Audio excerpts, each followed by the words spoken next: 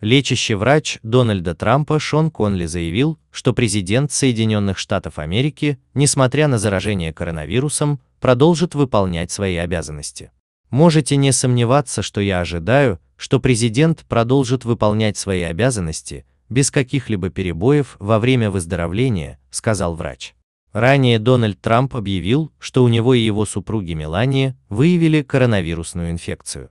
Также ранее сообщалось, что советница Трампа Хоуп Хикс, сопровождавшая его на президентские дебаты в Кливленде, получила положительный результат теста на COVID-19. Глава Белого дома подтвердил эту информацию. США находятся на первом месте в мире по распространению вируса.